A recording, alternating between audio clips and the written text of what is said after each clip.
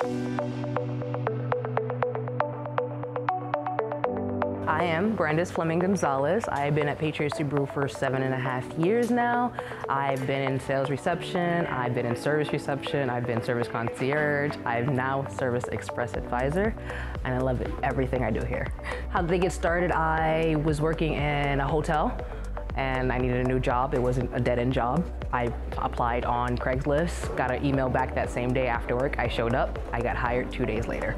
My feelings towards the support I get received, I receive here at Patriot Subaru, it's family support. They understand how you have to be there for your family. They understand that you need to be, you had to have a job. You need to learn. They're willing to work with you. They're willing to tell you what you're doing wrong and get you to get in better places from there on out.